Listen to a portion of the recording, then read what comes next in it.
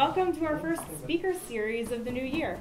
Uh, those of you who have been to the speaker series know that we usually have one speaker, um, but because of the nature of the uh, debate that we're going to talk about tonight, we have two speakers. Uh, so we'll have more of a conversation than a presentation.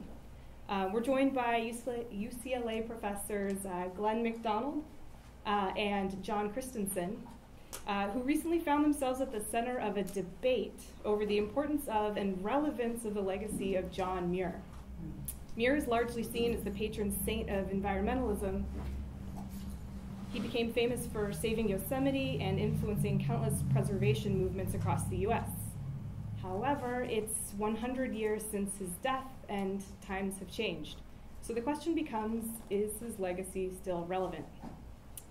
Before I turn it over to both Glen and John, let me tell you a little bit about them. Glen MacDonald is the John Muir Chair, Memorial Chair of Geography, and a UCLA Distinguished Professor. He is a former UC Presidential Chair and former Director of the UCLA Institute of the Environment and Sustainability. His research focuses on climate change, its causes, and its impact on the environment and society. John Christensen Christensen is an adjunct pro assistant professor in the, at, in the Institute of the Environment and Sustainability, Department of History, and the Center for Digital Humanities at UCLA. He is currently finishing a book titled Critical Habitat A History of Thinking with Things in Nature. He is engaged in a multidisciplinary digital environmental humanities research project on nature in cities as well as a large collaborative project to crowdsource a new public environmental history of the San Francisco Bay Area. Welcome. Thank you Thank for you. being here. It's a pleasure. Uh, so I'm going to turn it over to Glen and John and have them give you a presentation uh, before we get into the discussion. Well, thank you very much. I, I want to thank Claire and I want to thank the Manzanita Institute and School for inviting us here. It's, it really is a pleasure, and thank you all for coming out this evening. I'm not sure we're going to duke it out too much, but I think that we hope to stimulate some, some thinking and critical thinking and, and good thinking and, and discussion and debate. So, so welcome and, and, and let's do that. I, I want to say a few things about Muir, the context, what's happened in the hundred years since, since he passed away, and, uh, and what, what I think are, are some valid criticisms and what are the things we should still bring forward from his legacy that can serve us well in the 21st century. Now, those you didn't know, John Muir died in Los Angeles. He died in Los Angeles Christmas Eve in uh, 1914. He was visiting his daughter here. And when he died, he was working on a, on a manuscript about Alaska. We in California associate him very much with the Sierras, but he was really fascinated by Alaska and, and went there on a number of occasions. Now, the question is 100 years after John Muir died, we have a lot of schools named after him, parks and things like that. We've probably read snippets. Maybe some of us have read My First Summer in the Sierra. He is a prodigious writer. Probably no one here has written read everything that, that, he, that he wrote. Uh, but he has a deep Im- impact on us, whether we quoting him or we're just thinking about ideas that he put forward and that then became how Americans um, define nature and how we define conservation and how we go about doing it. But a lot has changed. And, and let's just look at that a little bit to understand what a different world we're in. When Muir was writing, uh, there were about 3 million people in California. Now, it was the most populous of the western states, of course, but imagine that. That's less than a tenth of the number of people in the state today. And uh, by 2050, we're anticipating there'll be some 50 million people in the state the pressures on these wildland environments that he so treasured, these environments that were, you know, untr- un- not untrammeled, but were unchanged by human activity, uh, is immense. And whether he could have imagined a state that would have had an order of magnitude more people in it, I- I'm not really sure. When we look at then the places that he thought was sacred, in a sense, um, Yosemite, of course, immediately comes to mind. Now, it wasn't until the 1950s and 60s till the visitorship to Yosemite rose to the millions of people. It certainly wasn't anything like that in Muir's day. And it reached a peak of over 4 million people in the 1990s, and then actually has descended a bit. and, and for various reasons. But we're still seeing close to 4 million visitors a year, and much of that concentrated in the Yosemite Valley. This is just a picture of tourism at Muir's time. Remember, Muir initially made a living as a guide there, as a naturalist guiding tourists there. This was part and parcel of, of how he kept body and soul together. Now, as a scientist, Muir is an interesting fellow. He's known both in botany and in geology. And of course, he's known for having won the debate against Whitney, who was the state geologist, about the glacial origins of the Yosemite Valley. he's also famous for finding the first living glacier in the Sierra Nevada. And uh, the fact of the matter is that that glacier has disappeared now. And the glaciers in the Sierra Nevada, due to climate change, we were predicting somewhere between 5 degrees Fahrenheit winter warming and 7 degrees Fahrenheit summer warming. Those glaciers are disappearing. When they will all disappear, it's uncertain. But there is the potential that every single glacier in the Sierra Nevada will disappear. And the Black Mountain Glacier, the one that, that Muir discovered, uh, is already gone. As climate is warming in the 21st century, and again, this is something Muir could not have anticipated, the life zones, the vegetation that he treasured, the high alpine vegetation, potentially will be replaced by forested vegetation. Lower elevation forests will potentially be replaced by other vegetation types, and there will be a huge change in the Sierra Nevada. Mm-hmm. The, the environment itself in the Sierra is changing. The giant sequoia groves, which Muir so treasured, and he wrote and published scientific articles about how they came to their distribution, which he felt was a relic of glaciation. We now believe that they are very, very tightly controlled by climate and by the level of the inversion layer over the uh, Central Valley. As that changes, the life zone that they live in may disappear, and also they are very susceptible to pathogens under warm temperatures. Muir planted one in his uh, home in Martinez they're trying to clone that now because it can't survive under warm temperatures. The vegetation he loved could disappear. But there's more profound things happening than that in terms of our capacity to cope with preservation and conservation of the environment, with climate change, uh, with the challenges that we face. And that is uh, our fiscal capacity. Muir um, was a great believer in the role of the federal government for preserving the nature he treasured so much, hence his, his push to the Park Service. And yet, when you look at Muir's time, 1914, our federal debt stood at about 4% of the gross domestic product. Today, it's at 70% of the gross domestic product. The appetite, and some could argue the capacity of the government, whether at the state or the federal level, for big projects, for big initiatives to face the big challenges that climate change is putting on uh, environment may have passed. It's certainly a very different world. You have members of the uh, Congress calling for the sale of some national parklands and things like that, questioning whether the federal government should own any parklands. And you have just stark economic facts that our debt ratio is so much higher than it was in Muir's time. Muir could also be said to be the author of some of the difficulties we're facing in conservation in California, particularly in the Sierra Nevada. He, um, on, on one level, understood that native peoples had been robbed of their lands and at a sort of a theoretical level understood that. But in his writings, particularly for California Indians, he's not particularly complimentary. And he certainly didn't pay much attention to their role in ecosystems in terms of fire and set fires and keeping Yosemite Valley clear of vegetation that provided the, the meadows and things like that, which provided these fantastic views. What we're seeing then is he and Gordon Pinchot put into place the Smokey Bear idea, keep fire out.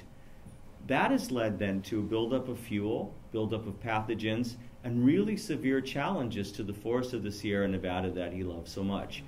Now that uh, Smokey the Bear philosophy has been put aside, but the cost of forest thinning is just unbelievably high. And so we will have these large, huge fires, which Muir would have been abhorred by. But in, in, in a sense, he was partially the author for the forest management pro, uh, uh, programs we had in the 20th century. Muir also he had a very dissected view of the state or of the of the sort of land surface in which is there were farmlands, there was you know, agricultural fields, areas where you had resource extraction of one sort or the other. Typically, thought, and this is his his farm, his ranch in uh, Martinez. Then there were wildland areas, the you know the Sierra Nevada, where you went to get away from all of that, and then there were the cities. Now he didn't really write glowingly about cities, but he spent much of his life living in San Francisco, and uh, and so, uh, but he, we still carry that with us, and maybe John will speak about more about that. We don't, it, we don't see nature all around us, and we maybe don't feel we're part of nature because nature for Muir was a place you went to, and discovered elsewhere. Now this may be that. Um, um, the town that he was born and grew up until he was 11 in Scotland was a rather bleak place and surrounded mainly by barley fields and things like that. Um, and, you know, the city of Los Angeles and San Francisco, perhaps in the uh, early 20th century, maybe weren't that compelling. But if you, if you go back and look at late 19th century, early 20th century Los Angeles and San Francisco, there was green space, there was nature there, but he never really celebrates it. And yet, this is a way to connect people with the environment, with nature. It's interesting to read Muir and look for his comments on the Californios, the Mexican Americans, people of Hispanic or Latino background in California. It's pretty much absent. Pretty much doesn't see it. His audience and what he sees are typically white, Anglo European uh, uh, Californians and Americans and and Europeans. And his choir that he preached to were powerful. And they were the powerful, politically powerful and, and uh, economically powerful. And they were, they were principally white.